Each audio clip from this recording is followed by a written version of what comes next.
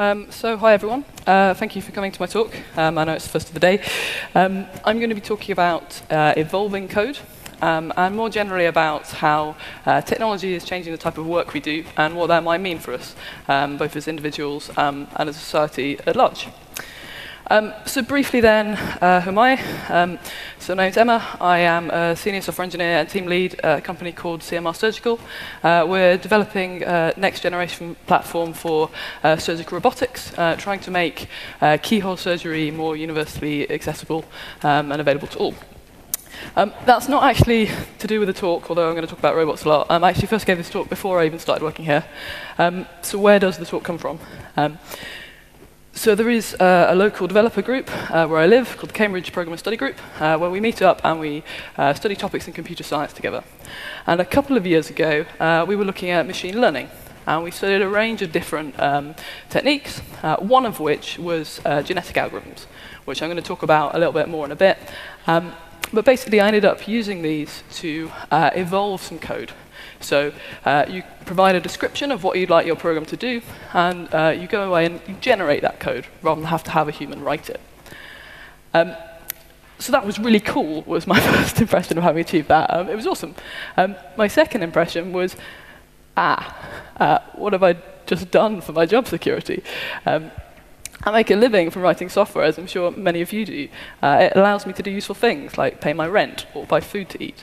Uh, what's it going to mean for me if a computer can just go away and write that code and I'm not needed? Because um, if we think about it, um, over the course of human history, uh, our lives have massively changed, and the type of work that we do has drastically changed through uh, advances in technology. So it used to be that most people uh, worked in agriculture. We were, we were out in fields, sowing seeds, harvesting crops. Um, it was a pretty full-time job to ensure that we all had enough food to eat. Um, but then we invented uh, tools. Um, we, we, increasingly automated uh, aspects of that work, and eventually ended up with things like this. Um, now, a single human can go away and produce a vast amount of food, not just for themselves, and it frees the rest of us up to specialize in other areas. This is quite useful. It means that some people can go and build bridges or be doctors.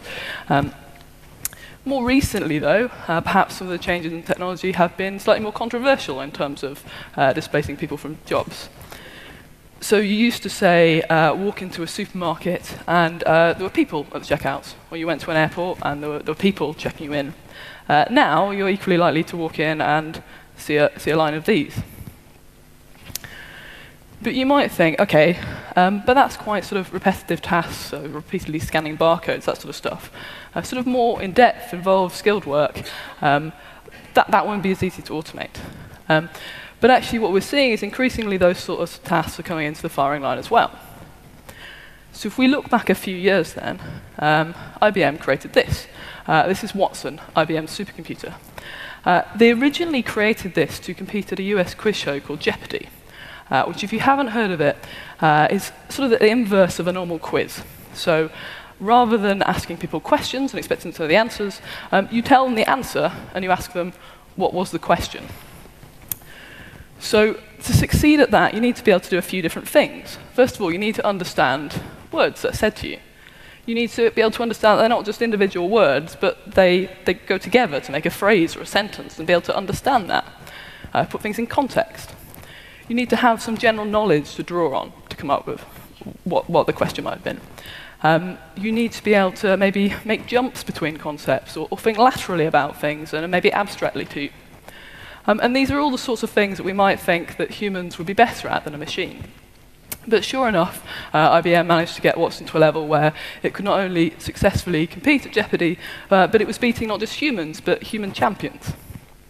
And how they did that was a mixture of some natural language processing, so that they, it would understand the questions posed to it, uh, a huge database uh, populated with a, a, vast amount of data um, parsed and collected from the internet, some data mining, so that they could efficiently get to the bits of information they wanted, um, and, and some machine learning to sort of iteratively um, train this so it came up with better and better solutions until it was um, the finished product.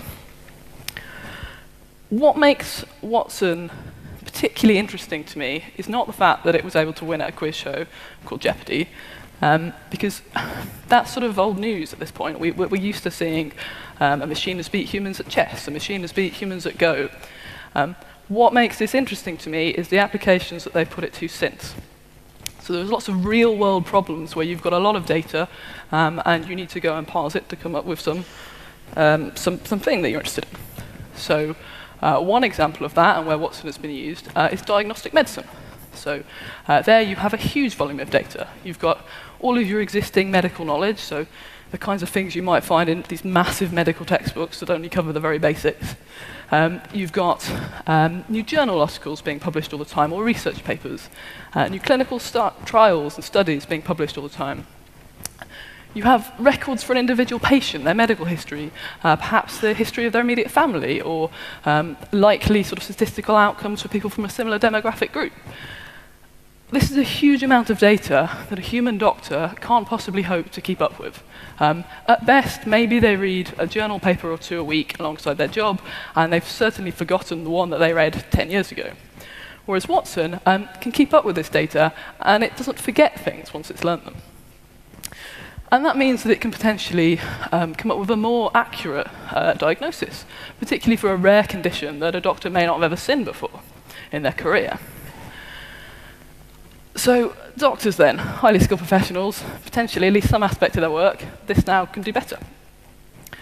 And there are other areas as well. So um, legal work, again, huge volumes of data, tomes and tomes of law, um, lots of uh, documents relating to the, to the, individual or the case, um, evidence from sort of uh, previous, previous cases and precedents have been set, sort of loopholes to be analysed.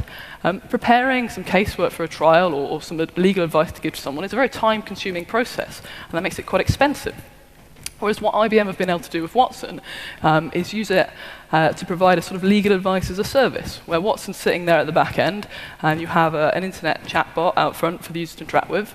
And this has enabled people who otherwise wouldn't be able to afford legal advice um, to, to, get some sort of quick advice on what they want. Um, now, that's probably not going to replace lawyers. It's not going to be that tailored to them, um, but it's certainly um, doing some aspects of that job. You might use it, say, in the classroom. Um, it, with its natural language processing ability, it can understand a question that a student asks and come back to them with the answer. If you, you're struggling to recruit enough teachers, and this is a way of, of kind of improving that sort of teacher-to-student ratio and, and get everyone more individual attention. So doctors, lawyers, teachers, um, people we think of as very highly skilled professionals then. Uh, now, with some, at least some aspects of their job, uh, this can do as well, if not better than them. So what about software developers then? Um, what about, what about our, our jobs? So you might think, well, hopefully we're needed to write the code that this sort of technology uses, so we're okay. Uh, but as I was saying, it's looking at ways in which you uh, could uh, generate that code rather than having to have a human write it. So one approach you can take to that um, is genetic algorithms then. Um, so a genetic algorithm is a guided random search algorithm, uh, by which I mean, as opposed to, say, a systematic search where you've got all your data uh, in order, and you, not in order, but in a big line, and you start at one end and you keep looking through until you find the thing you're looking for, uh, which you'll get there, and it's simple, simple, to reason about, but it might take an impossibly long time if you've got a large amount of data. Um, or a random search where you say, I'm going to look over here. Is it there? Nope. over here? Nope. Over there again? Nope, still not there. Um, which, which uh, is one way of looking for a large data set, but again, it might take some time. Uh, a guided random search is you pick a random point to look at, and then based on what you find there, you decide where to look next. So say I look over here, and the thing I find looks nothing like what I'm looking for, then I'm going to go, well, uh, let's try all the way over there instead. Uh, or if the thing I find here is quite close, then I go, well, look, I'll look in the vicinity.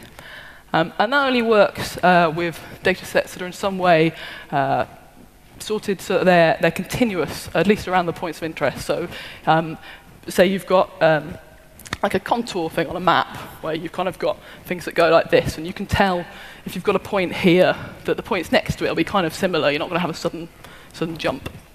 And that allows you to infer things of what you found there and what will be around it. And in particular, a genetic algorithm is a uh, guided random search algorithm which takes inspiration from biology, um, specifically from evolution, where we have this idea of natural selection and, and survival of the fittest. So if you've got some uh, trait that makes you uh, more likely to survive, say you're quick at running away from tigers or something like that, then you're more likely to live long enough to pass on your genes to the next generation, and therefore over time, uh, those sort of beneficial traits uh, get selected for and become more prevalent in that population. So how on earth does that relate to um, an algorithm then? Um, so if we take an example of, say, uh, evolving a string, so not programs just yet, just, just a string. Say I want to get one that contains the title of this talk. What I would do is I would first of all generate a whole population of random strings, um, so all different lengths, different characters, just completely random strings. Then I'm going to look through and evaluate those, those individuals and assign them a fitness score. Um, this point is where my uh, analogy of evolution has somewhat completely gone out of the window, um, because in nature there is no end goal in mind, whereas here we are artificially constructing a fitness function to steer our algorithm to converge on the solution that we're looking for. So say I might say, well, um, I'm going to reward strings that are uh, the same length as what I'm looking for, or similar, uh, that have the same characters, um, that have those characters in the right places. So we will, we will score uh, all of these uh, individual strings with fitness score, and then we're going to select some to survive. So naively, simplest thing I can do, I'm going to put all of those strings in, in order of fitness, and I'm just going to take the top half. I'm going to throw the other half away and say, this top half has survived to, to reproduce and pass on their genes. Um, I then have a crossover step. So this is analogous to um, you getting half your chromosomes from each parent. So again, simplest thing we can do, first half of one string, second half of the other, sticking together. Um, we then have, uh, similarly to how you get new characteristics introduced into the gene pool by uh, random mutations in, in genes, we're going to have a sort of mutation step where for those child strings that we've created, we're going to randomly pick a character and swap it out for a different one. I'm then going to look at the population that I've got and decide, um, does this contain the string that I was looking for? If so, uh, great, I can stop. If not, I'm just going to go back around. I'm going to evaluate again, uh, continually do this kind of crossover step. So generation after generation, it evolves towards the thing that I'm, I'm looking for. So let's give that a go then. Um, see. Text a bit bigger. Um, so what we're going to see when I run this um, is that for each generation, we're going to print out some statistics about that generation. So we're going to have uh, the average fitness score, uh, the range of fitness scores that we've got, uh, and also going to print out the best string that I've, that I've got so far. Um, so to start with, that's probably going to be a string of around about the right length, because in a, in a group of completely random strings, something about the right length is probably our best bet So over time, uh, hopefully we'll get the spaces in the right place, we'll see some features emerging, um, characters lined up, and we've got to our, our talk title. Um, so that's well and good, um, but to be honest, evolving strings isn't particularly interesting. Uh, it would have been much quicker for me to just write that string down, um, and indeed I had to do that in order to define the fitness function anyway. Um, so what about evolving programs?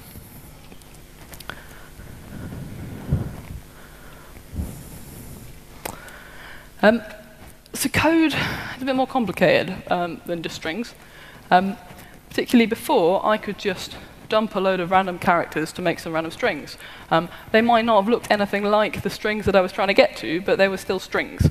Uh, whereas if I just dump a load of random characters into a file, the odds that that's any kind of runnable code uh, in, in Python or in C or any other language that I want is going to be pretty slim there's all sorts of rules about um, structure and syntax and, and, things that logically don't make any sense to do.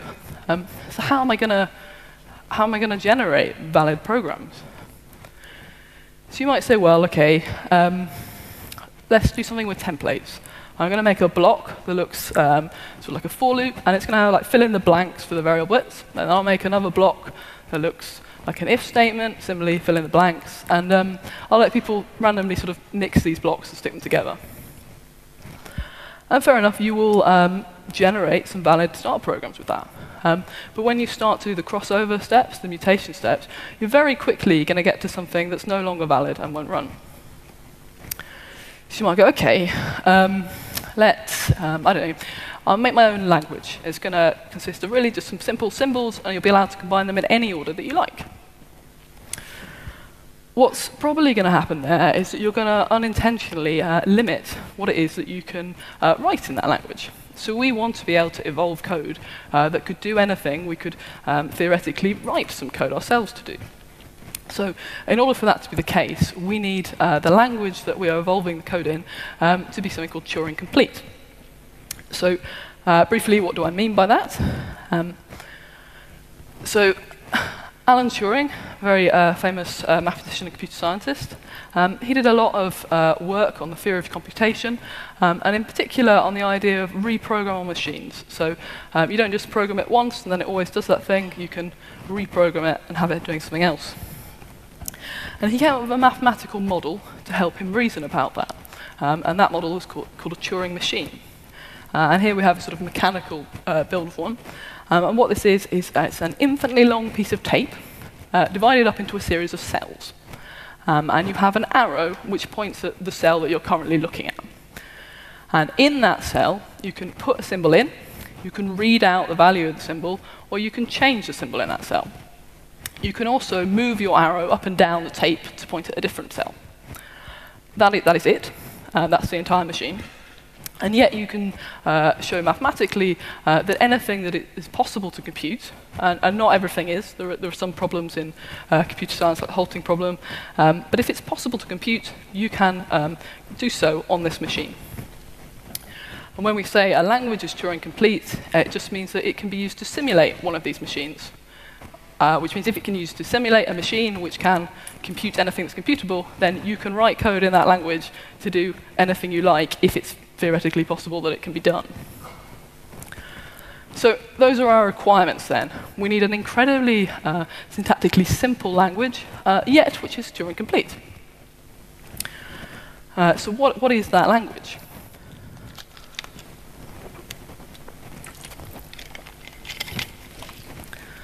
So at this point, I thought, well, that might already be a solved problem.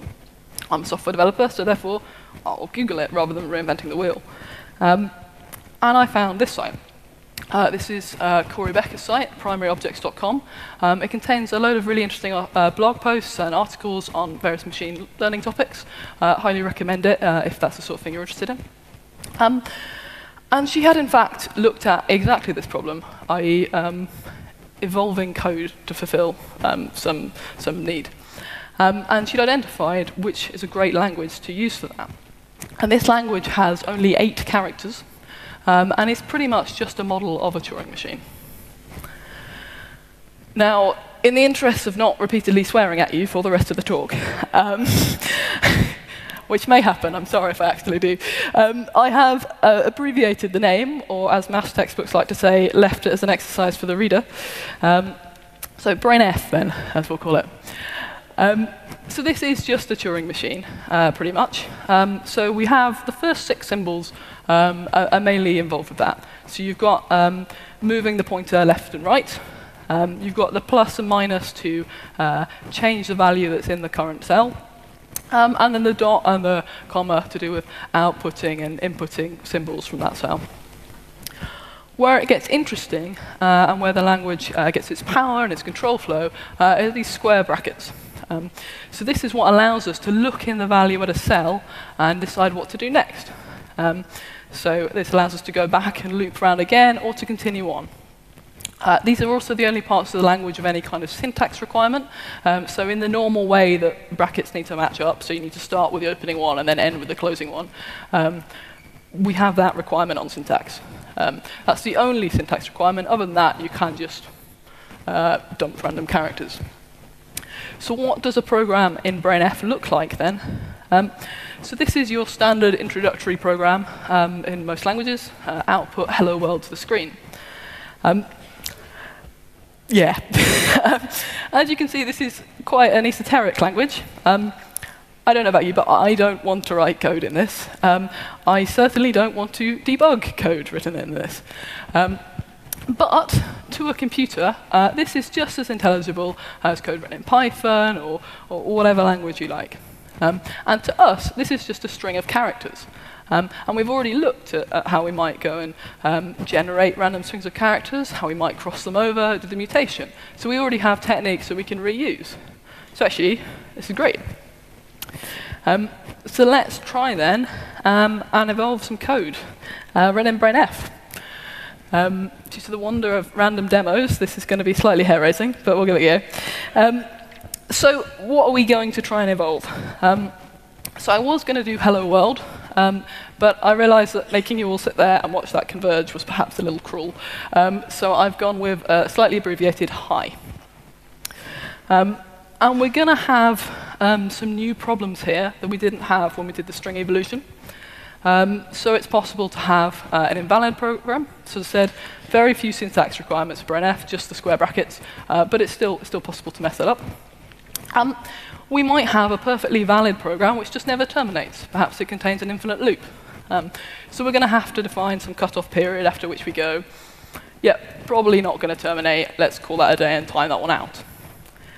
The other thing that might happen is that the real world isn't actually like perfect theoretical mathematical models. We don't have an infinitely long piece of tape. Our computer that we're running the program on has a finite amount of memory. And we might go off the end of it. So again, we're going to need to spot that error. And for all of those things, what we're going to do is assign uh, that individual a very low fitness score so that we can try and, as quickly as possible, uh, weed out things that just don't run and get to, if not the program we want, at least something that runs and, and we can start evolving. So,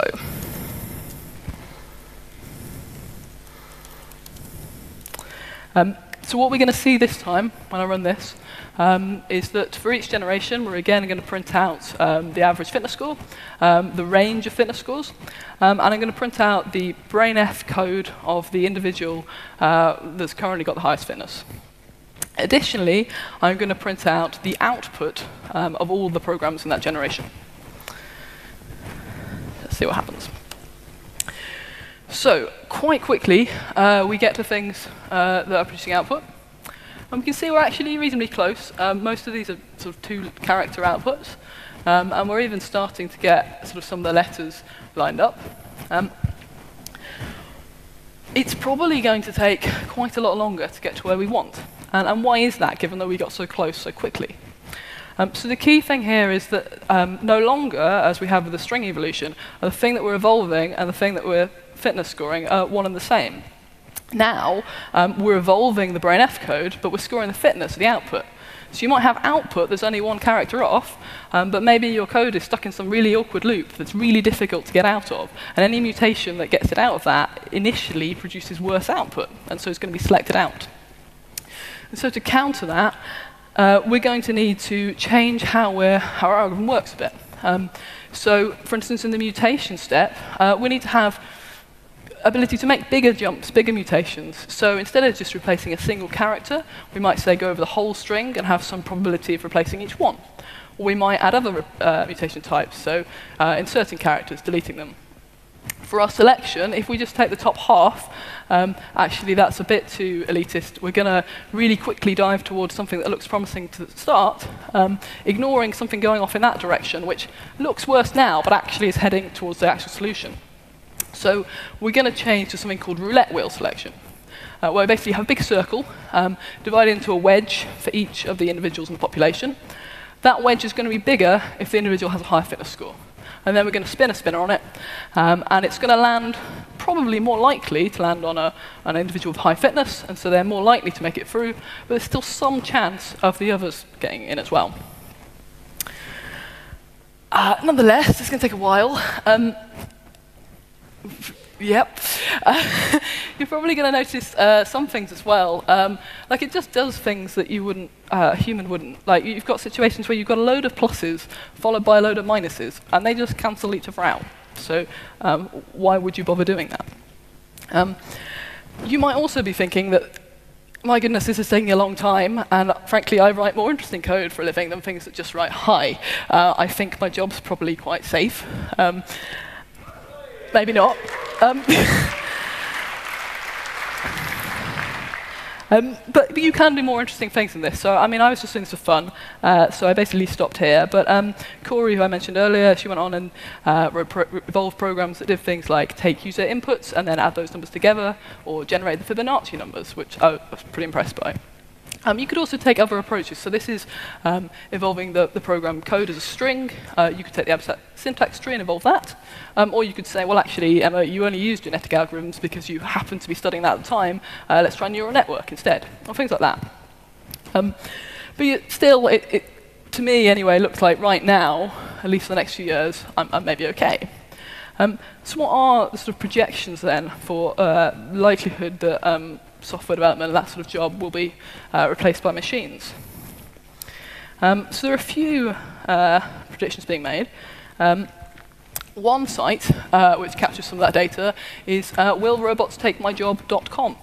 Um, so this is quite a fun site. It, um, it's uh, based off some uh, paper that was published in 2013, uh, which made some predictions about, uh, for various different uh, professions, what the odds were that those would be um, automated and, replaced by robots by 2024.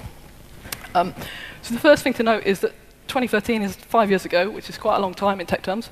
Um, and also other projections have been made since. Um, they have differing um, sort of predictions um, depending on what, uh, how they decide to break down the jobs, how they define them, what sort of, if they consider whole jobs or, or the tasks that make the jobs up, um, and on what kind of underlying assumptions they make.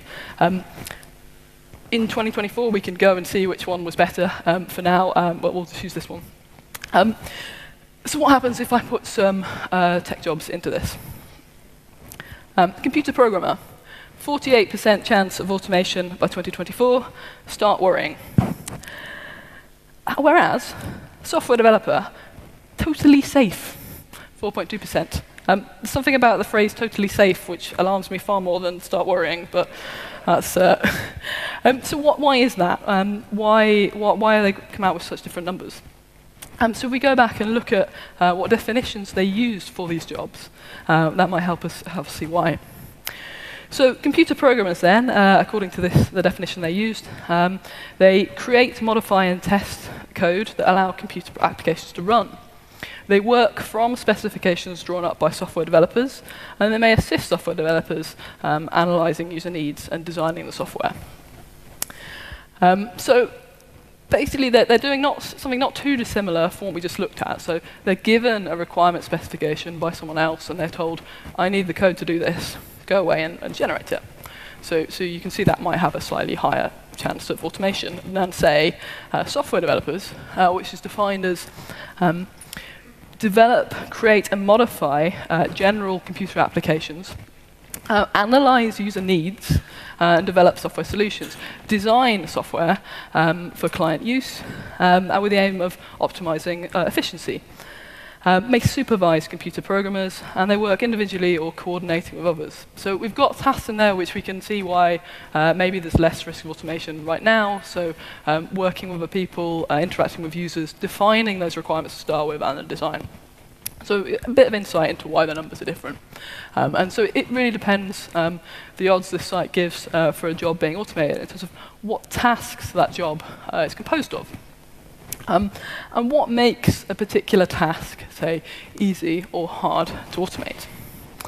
Um, so things that are very repeatable um, uh, are easier to automate. So uh, clocks, for instance, have been sort of chiming on the hour um, without someone going up and hitting a bell with a hammer for quite some time now. That sort of thing is quite um, easy to automate. Um, whereas something more varied and unpredictable is much harder. Um, so say we were to look at self-driving cars, and uh, if we wanted to talk about potential for job loss, then self-driving cars is probably what we should be talking about, because if you think the number of people that are involved in driving vehicles in various forms uh, that could potentially be completely replaced, like all aspects of their job, by those. Um, but we're not quite there yet. And the reason is it's very different to, say, uh, have your self-driving car and your test site, a small area which you've got perfectly mapped out. You understand there aren't other people using that area, other, other vehicles. Um, to make that work, um, and, and, and, people have done that. And we have um, the reports, which are mainly automated now and have um, you know, self-driving cranes lifting things off ships and then putting it onto a self-driving lorry. Um, but it's because that port is closed to the outside world. They know exactly the route map. Um, there's never any other people around or any other vehicles. Whereas uh, the real world roads, um, you might have uh, an unannounced uh, route diversion that day, some temporary roadworks. Um, you can have changing weather conditions. You uh, have, uh, you know, the standard thing of a football goes into the road and the kid runs out after it. Um, you have other drivers doing potentially unpredictable things. Um, uh, your, your, your route may not actually bear any resemblance to what the sat nav says it is. Um, this is all much harder to deal with. Other things that are hard to automate um, involve things which, uh, say, have an element of human interaction. So jobs that require empathizing with someone, um, harder for a machine to do. Um, things that involve creativity. Um, so this is where, at the moment, we quite like to think of ourselves as um, quite separated from machines. Kind of people like to say, well, humans can um, compose sonnets or, or paint a masterpiece of art. Um, I hope that's not the only distinction we're making, because I can't do any of those things. Um, but um, we have some advantage in that area for now.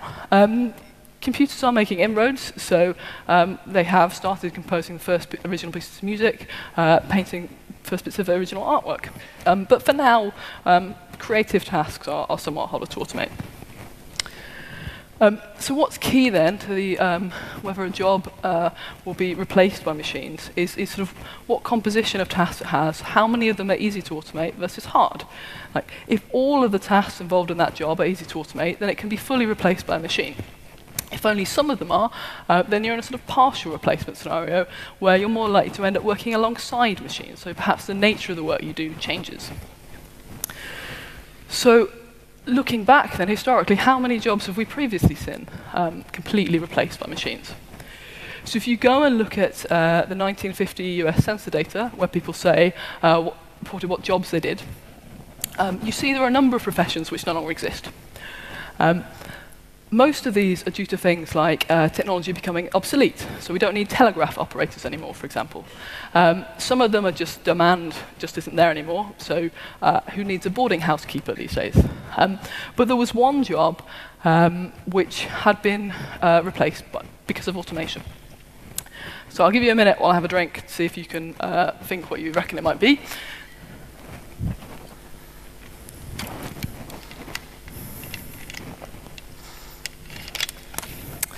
So, um, congratulations if you guessed correctly. Um, it is elevator operators. Um, so you used to have a manual lever um, that you had to pull to put the brakes on. And it was quite a skilled thing, actually. You need to make the lift stop at the right floor and line up exactly, otherwise you can only get half out. Um, we just don't have a need for these anymore. We, have just automated lifts. Um, that's not quite true. There's, there's, a couple skyscrapers left in New York uh, with these, I think, more as a tourist attraction. Um, but basically, this, this job just doesn't exist anymore.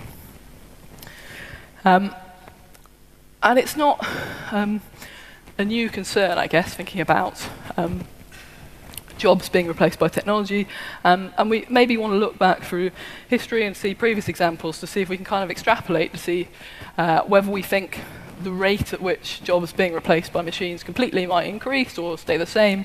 Um, what, what, previous examples have we had? Um, so this is um, sort of a machine for automating uh, production of cloth, so kind of weaving, knitting machine. Uh, this is quite a modern example. As you can see, there's electric lighting in the picture. Um, but the very first um, one of these, its predecessor, uh, was created uh, nearly 500 years ago now um, by a man named William Lee, um, who went to uh, Queen Elizabeth I and asked for a patent. Um, and she shared many of the concerns that people are talking about these days. So she said no to that patent. She said it will um, deprive people of work and replace them. I, I, want those people to have a job and, and be able to, to afford things like food. Um, but not having a patent obviously doesn't stop you from deploying this technology, um, and indeed they did, um, and it was made its way into a number of factories. And actually, that concern uh, about losing jobs, it didn't quite play out that way, at least uh, to start with. So what ended up happening um, was they in increased uh, dramatically the amount of uh, fabric that one individual worker could produce, because now they were using this machine. And because of that, uh, the cost of it decreased, uh, demand increased, and it kind of balanced out with the fact that each person was producing more and the number of jobs was actually maintained. That's not to say it wasn't controversial, however. Um, it did have negative effects. So um, you now could use these uh, machines with less skill than was required to make these materials before. Um, and because of that, uh, wages were hit. Like wages decreased for people. Um, and without sort of unions back then for people to, to go to to kind of counter this, um, th there were riots. Um, you may have heard of the Luddites. Um, I think they've got a slightly unfair reputation in history as they've gone down as um, completely uh, opposed to any new technology. Uh, so what they actually wanted uh, was some regulations around its use. They wanted uh, requirements on, on fair wages for the operators, um, on, on people having to do an apprenticeship before they were deemed skilled enough to operate it um, in order to counter the effects on the wages uh, that they were seeing. Um, so it's not a new topic of concern then, this kind of uh, what effect will technology have, what, what might the outcomes of that be. Um, and there's a wide range of different predictions and projections at the moment, uh, which I'd like to talk about a bit. Um, but I should say at this point, the talk stops being kind of manufactural and starts being mainly uh, a mixture of different predictions, projections, opinions, and that sort of thing. So um, I think it's important to draw the distinction. Um, I'm going to attempt to present a, a, sort of balanced view, overview of those, um, and probably, to be honest, ask you more questions uh, than I answer, because I think it's important that we all start thinking about this sort of thing. Um, so what are then some positive and negative outlooks that people have on automation? So um, the top two here kind of echo what we've just seen in the previous example um, with the Luddites and these weaving machines. Of some people argue, well, actually, automation is good because it will um, increase productivity, decrease costs, increase demand, and actually you won't lose any jobs because of how that balances out. And other people will go, well, look, we've seen that before, and it depresses wages, so it's still a problem. And actually, um, the, the argument about uh, maintaining jobs due to this economic uh, balance uh, only holds if you partially replace uh, the, some tasks of that job. Um, if you can work alongside machines to do your, your work more efficiently, then that can be true. If you're completely replaced, um, then you're in the bottom scenario of just mass unemployment, um, as might happen uh, if we have completely autonomous vehicles. Um, some people say, well, you will lose jobs, um, but new jobs will be created. Um, for example, um, probably none of us have grandparents that were data scientists. This one's quite hard to reason about because just trying to think uh, about things which by their definition don't exist yet is quite difficult. Uh, but, but new job types will certainly um, come about. Um, but what might happen is that the people that lose um, their jobs aren't necessarily going to be the ones that can pick those jobs up. So there's, there's a, might be a skills gap, retraining needed. Um, how, do you, how do you deal with that? Um, and this may cause some growing inequality. So um, if you've got some people being put out of jobs or on lower wages, and you've got other people that have happened to be the lucky ones that have the skills for the new jobs appearing and can demand quite a high wage for their services, you're going to have a, a growing gap appearing in society. Another thing that you might think about is, well, hang on, we've got, we've got quite an aging population uh, at the moment. Um, how are we going to uh, help to uh, provide the sort of continued level of healthcare that we enjoy at the moment. How, how are we going to pay for that? Uh, maybe automation can help boost productivity and help increase the, uh, the amount economic contribution from each worker. Maybe that, that'll help us. Um, so, yeah, a, a, lot of potential different uh, upsides, downsides, ranging from um, extremes of it's going to be an amazing utopia where no one needs to work um, and we'll all enjoy lots of free time to robot apocalypse. Most people sit somewhere in between of there'll be a mix of these things all happening at once. Um, so how, how do we as society react to some of these challenges then? Um, we, we're going to need to, to do something. Um, there's some things we might want to consider. So universal income has been something that's been talked about for a while, um, perhaps gaining um, more traction recently. We've had a recent referendum in Switzerland uh, that was uh, rejected. There was a trial in Finland of how this might work. Um, are we going to need to change our education model? Um, we've got kids starting school now who, by the time they leave school, the jobs we currently have might not exist anymore. They might need to know how to do new jobs, which we don't even know what they are, let alone what skills they require. Um, and how do we make education more lifelong? Do we need to provide more opportunities for retraining if people might have to change lots of jobs in their lifetime? Um, another suggestion that was put out there, um, I think by Bill Gates, was, well, in the same way that you have income tax at the moment, perhaps we could charge companies a tax on robot productivity to help pay for some of the sort of ideas higher up this list.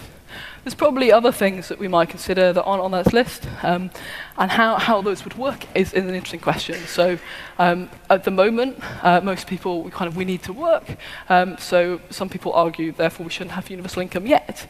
Um, but then in the, in the future, maybe we get to a point where it definitely needs to happen. Uh, what happens in the transition period between those two points?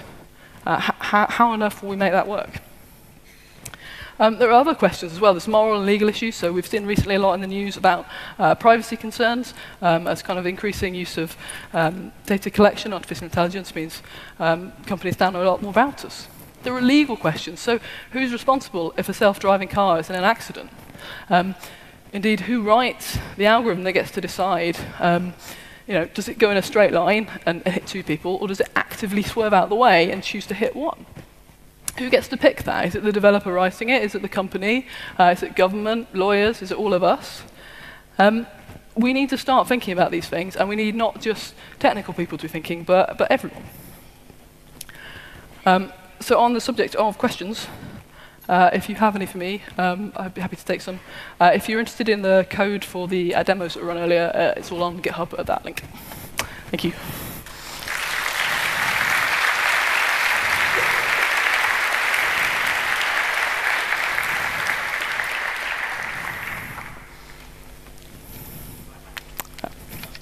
25 years ago in a uh, theory of computation class, I used genetic algorithms to evolve a uh, finite state machine to solve a problem and got in trouble for using up most of the department's computing resources.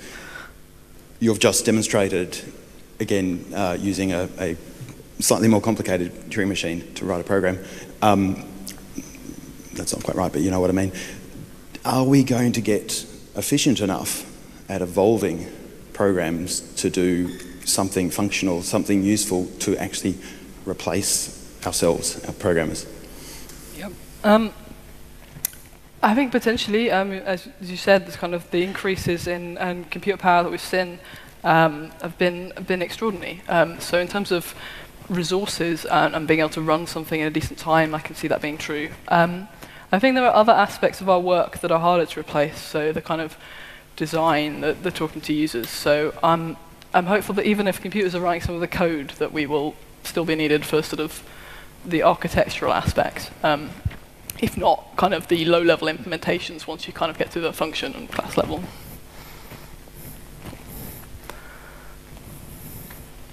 Hello, thank you for the talk. Um, when you uh, write a program today, uh, a lot of times you have an IDE help you with a lot of things. So part of the automation of writing programs is already happening, but it doesn't use uh, genetic algorithms these days mostly. There are specific algorithms written for the analysis of programs, etc. Um, do you have a, a, prediction about how uh, genetic algorithms will get um, um, uh, involved in that, will get um, more um, used for, for these things and how, how the um, balance will be between uh, machine learning and, and uh, other automatic evolution of, of code versus um, pre-written uh, designed uh, elements. Yep. Um, so um, in terms of genetic algorithms getting more involved in things, I think um, Perhaps not this problem. Um, I, they are massively useful in, in optimization problems. So uh, there's lots of situations in physics and chemistry um, where you've got sort of lots of variables, uh, a, a, space which is it's, uh, the polynomial is too complex to solve uh, analytically, um, so you need to use this kind of optimization approximation techniques. Um, in terms of evolving code, um, I don't know whether it will be genetic algorithms or some other uh, aspect of machine learning. Um, maybe, maybe neural networks instead, potentially. Um, but I think they will be... Um, it depends where we get to with intelligence and creativity, I think, um, in terms of artificial intelligence. So if things can start um, designing uh, aspects of work, um, particularly if we get to levels of user interaction and, and being able to converse with machines where they can understand us, then potentially they can start taking over some of those um, user requirements gathering bits as well. Um, but I still like to think there's some, some role for us in, in all of that. Cool. All right, thank you very much. Okay, if there are